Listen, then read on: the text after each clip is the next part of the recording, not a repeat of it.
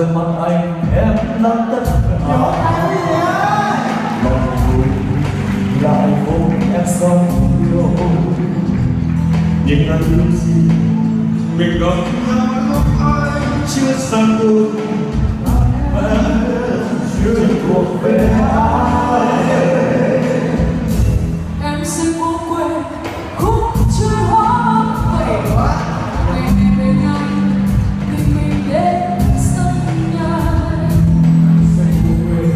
lần đầu mình đến trong nhau nàng như đã sống yêu từ vô hạn